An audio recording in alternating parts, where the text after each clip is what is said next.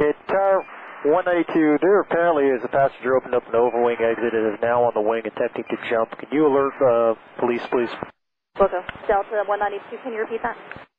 Yeah, 192. Flight attendants informed us that there is somebody who opened an overwing exit and is on the wing. Getting ready to jump off. Copy. And stand by, we'll give you additional information. Flight attendants are talking to us right now on the interphone. Okay, all departures are stopped right now. Tower Delta 192, the, uh, the passenger is uh, mostly naked running across runway 27 right at Tango. Okay, thank you. Uh, somebody reported possibly seeing him from the tower. Yeah, he's got his hands up. Yeah, he is, uh, he is walking across the runway right now. Okay, thank you. Well, there's a new one. Yeah, first time for us too.